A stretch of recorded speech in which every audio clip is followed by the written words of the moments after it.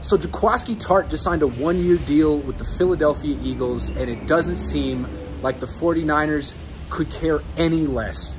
That kills me. I mean, Jaquiski Tartt has been on this team a very long time. He's one of their longest tenured players. They said so many nice things about him, and then all of a sudden this offseason, it's like, you're dead to us.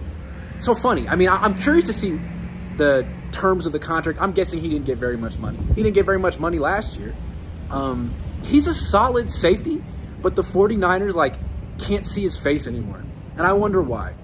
I mean, really, he should be remembered for having a long, solid, above average tenure in the NFL with the 49ers, but he didn't make a lot of big plays.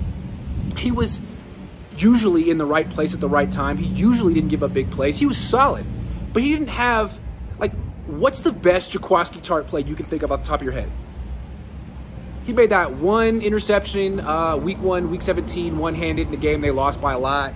I mean, there weren't a lot of like big time Jaquiski Tartt plays. There's not going to be a great Jaquiski Tartt highlight reel. In fact, the most memorable moment Jaquiski Tartt ever had with the 49ers was dropping that gimme interception in the NFC Championship game just a few months ago against the Rams.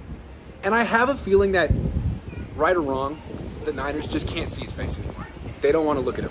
When they look at him, they see failure. They see a guy who dropped a gimme interception and uh, affected their chances to go to the Super Bowl.